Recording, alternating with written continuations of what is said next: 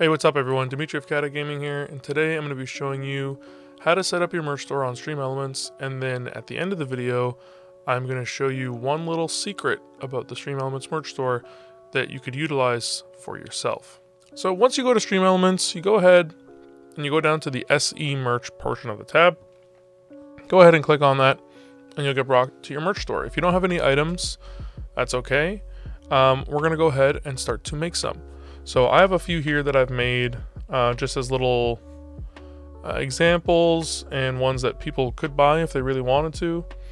Um, I don't really mention my merch much on stream, um, but I do have a few here, um, and one that people have asked for.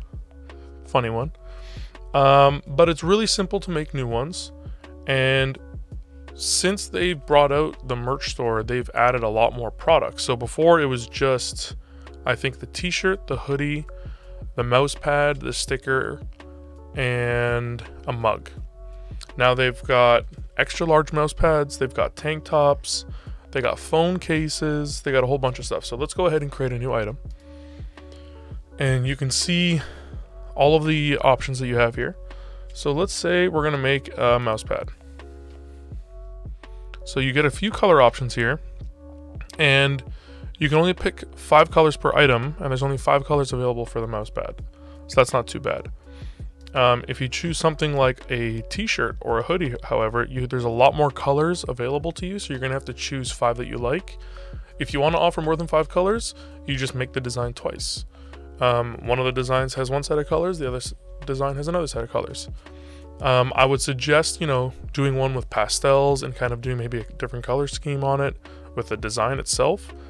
Um, but I, you know, you can do however you like, and I don't, I don't really have multiples out there, so kind of choose whichever ones you like and choose different designs and kind of change it up a little bit. So now, what would you put on your merch? So if you've gone to Fiverr and you've gotten someone to make a logo for you, for example, that's a great place to start, which is what I did. If you've got a few phrases that people like refer to when on your stream, um, things that you say a lot or things that people talk a lot about. Uh, if you have an emote that people really like, um, these are all options for things that you can put on your merch. You can also go to Fiverr and actually get someone to specifically design merch items for you as well. Um, I'll leave links in the video description below for some search terms and uh, a referral link for Fiverr if you guys would like.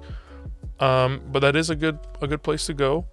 You can also just create your own word ones using free Photoshop options like Pixlr or um, Paint.net and stuff like that. You can create your own designs. They don't have to be the most complicated designs, but if you think people will like them, uh, then go ahead and put them on something. Another quick tip is to ask your audience what kind of things they would like. Um, most of the items that I've made, I've like asked people if they if they would want to get something like that, uh, and they've mentioned that they have. I have one audience member actually designing a specific sweater um, that they really want to get. That you know, it reminds them of the stream, but they're kind of designing their own kind of idea around it. So I'm allowing them to do that, which I think will be pretty fun. Um, but yeah, ask your audience because in the end, they're the ones who are going to buy. So you want to make things that they're going to use. But let's quickly get to the design here. So you can create a name.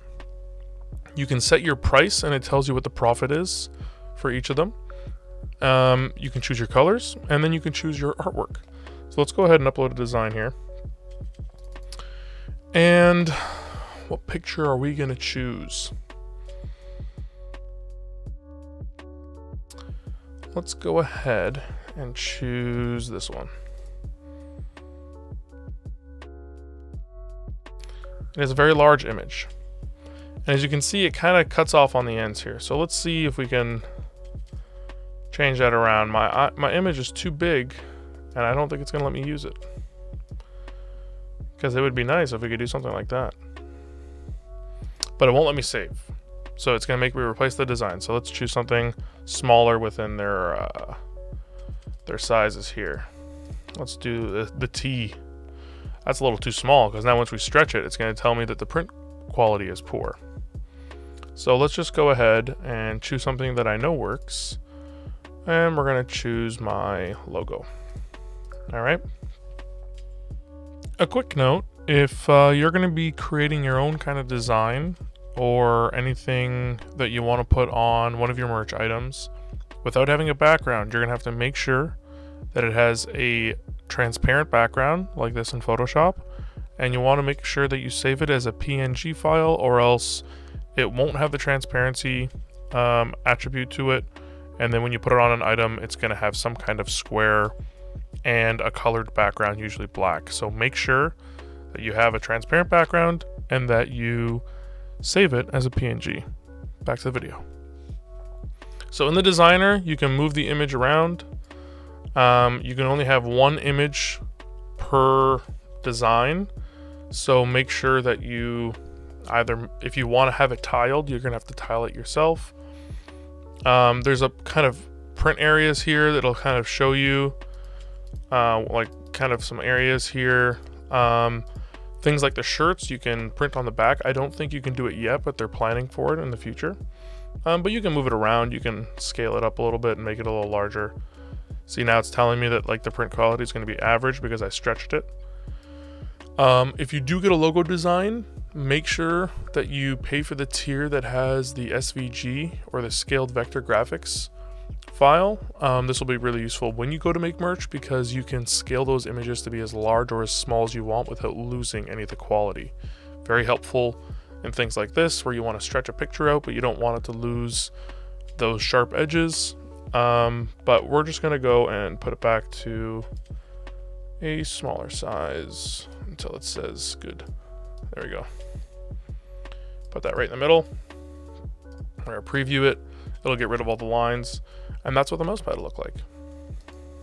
So yeah, as I mentioned, the back printing is coming soon, and I do plan on using that. Um, what I plan on using it for is having a kind of design on the front and then the name kind of on the back in a small, small font.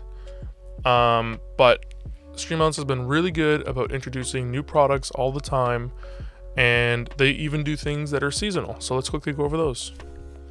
So as of today, November 18th, uh, 2020, you can go ahead and go to the engagement tab and you can create these seasonal promotions. Um, and what these are, are a bundle pack of a sweater and a mug, and there are five different designs. So you have this quick, simple design, you have this one, and you the only thing that you get to change here is the words on it. So say we want this to say 2020 was a blast. Right? And you can put that on there. So you can put whatever you want on this uh, this hoodie in these words, and it'll bundle these together. And it sells for 37.40 starting at, and you earn three dollars for every bundle sold. You can create a chatbot. You can have certain panels, uh, an alert for it. You can let it snow and that's all of a seasonal promotion right now. Within engagement, you also get a few other tools where you can order your own merch bundle, um, the standard products. You can also set up your merch panel. So I actually have one of these on my channel. So as you can see here, I have the little merch panel there. Um, you can create an alert, which I do have. Um, you can create a rotating widget um, if you want to have something that's like constantly on the stream, I don't like having those, but if you want to have one, you're more than welcome to. And you can have a little chatbot command and a timer um, that'll just remind people that you do have a merch store and that they should go check it out. And now for the little secret, if you wanted your own custom mousepad with your logo on it that you got off of Fiverr, you can go ahead and order it yourself through your Stream Element store, put the profit down to zero, and you're paying a pretty good price for a custom house pad that prints at a really high quality. So all you do is you go in to whichever item you want to buy, you go down to the lowest amount, right? So that's giving me a dollar fifty in profit. And we're gonna lower this down even more. We're gonna lower it down a dollar fifty. So we're gonna go to 20.50. So it's zero in profit. And now if we save this and we order it, we're going to be paying $20.50 plus the shipping, which depends on where you are in the world, um, for a custom mousepad with a very high quality design and a high quality print um, for a pretty good price. You can do this with any of the items, whether it's a sweater, a tank top, mouse pad, a mug, um, and it's a really great way for you to order your own things.